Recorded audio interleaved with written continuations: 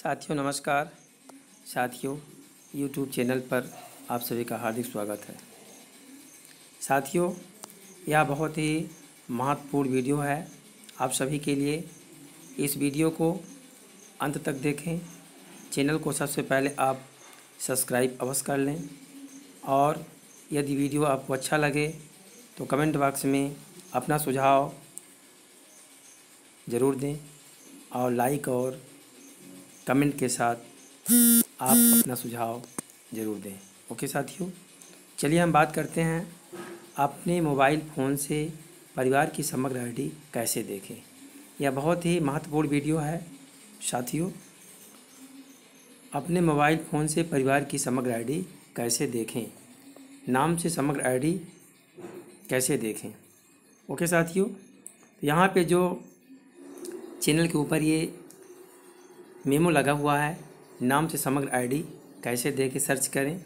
सबसे पहले तो इसको आप प्ले स्टोर में जाके इस ऐप को डाउनलोड कर लें। ओके साथियों, चलिए हम देखते हैं। यहाँ पे जो है ये ऑप्शन ओपन हो चुका है। सरलता से अपनी समग्र आईडी जाने, अपने नाम से जाने, परिवार आईडी जाने, सदस्य आईडी से जाने, इसके साथ बीपीएल राशन कार्ड लिस्ट एवं राशन कार्ड संबंधी जानकारी प्राप्त करें। ओके साथियों तो सबसे पहले यहाँ पे स्टार्ट क्लिक करते हैं। इस तरह जो है यहाँ पे पेज ओपन हो गया है। समय, सरलता से अपनी समग्र आईडी जाने।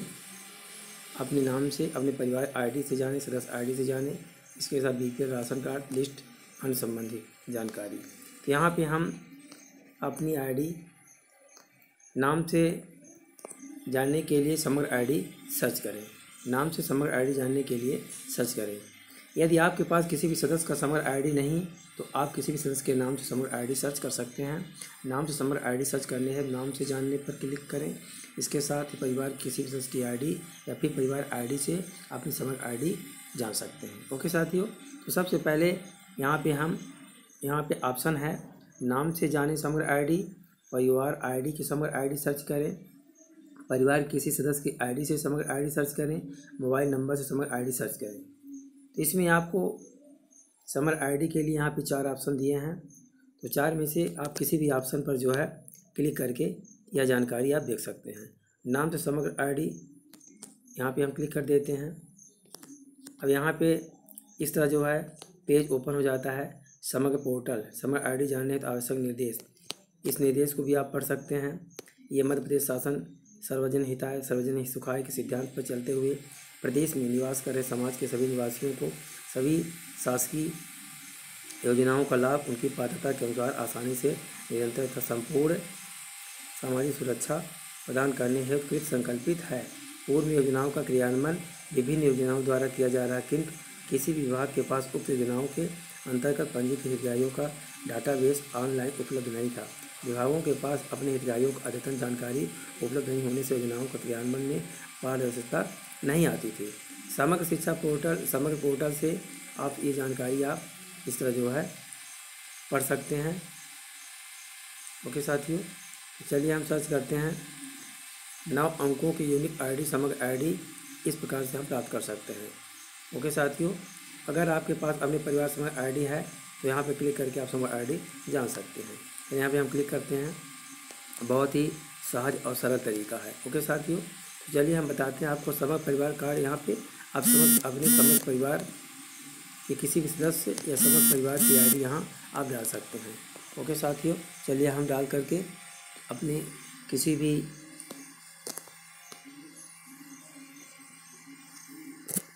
परिवार का जो है, यहाँ पे हम देख सकते हैं।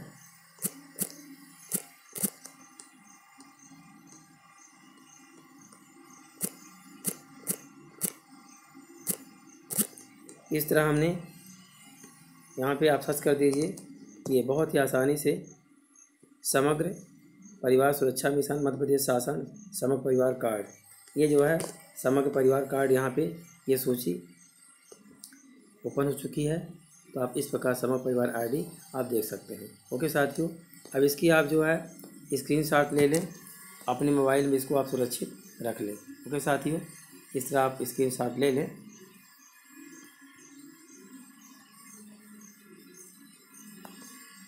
इस तरह आप स्क्रीन शॉट रख लें अपने मोबाइल पर और इसको आप किसी भी आप फ़ोटोकॉपी की मशीन से इसको आप एक प्रति निकलवा के और ज़रूरत पड़ने पर जहाँ भी जिस भी कार्यालय में ज़रूरत पड़े, स्कूल में, सबसे अधिक समग्र आईडी बच्चों की विद्यालय में लगती है।